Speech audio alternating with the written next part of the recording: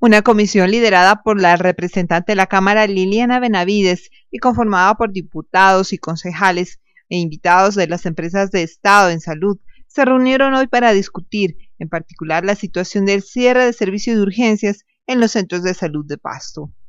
Nosotros en estos momentos consideramos realmente que es una decisión apresurada del Instituto Departamental de Salud cerrar estas instituciones por causas de infraestructura. Si tenemos que pensar en que los cierres deben darse por infraestructura, créame que deberíamos cerrar el 100% de entidades de nuestro departamento, porque ni el Hospital Departamental, que es la joya de nuestra corona en la salud de Nariño, podemos decirle que tiene eh, eh, todas sus áreas totalmente habilitadas. Por ello la preocupación inmensa, se le ha dicho al Instituto Departamental de Salud, la situación de lo que está pasando, porque no pueden ellos seguir tan cuadriculadamente la, resolución 2003 que indican las normas de habilitación para cerrar una institución que le presta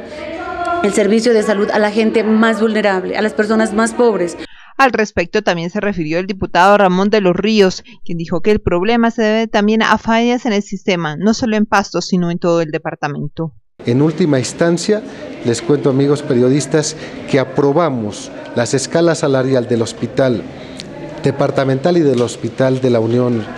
Y la verdad preocupado estoy yo porque lastimosamente no hay un estudio técnico y financiero que deben presentar las heces pastos, las heces que dependen del departamento, porque hoy vemos que hay una planta temporal que ha crecido en el,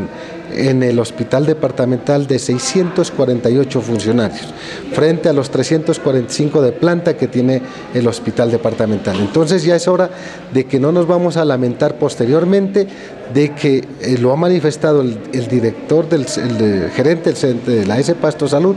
que si no cumplen con unos requisitos en tres meses y presentan el proyecto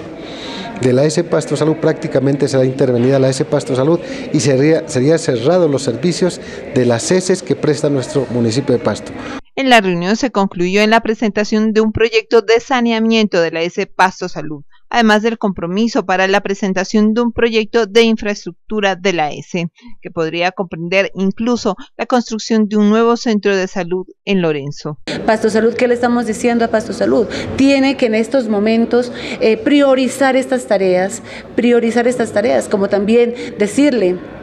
que tiene que hacer un mantenimiento a los equipos eh, biomédicos de la S Pasto Salud para que puedan prestar una atención eh, digna a los usuarios del sistema. Son tareas que se tienen que realizar en estos momentos, tareas primordiales por parte de la S Pasto Salud para que pueda funcionar de la mejor manera y brindar una atención oportuna a sus usuarios.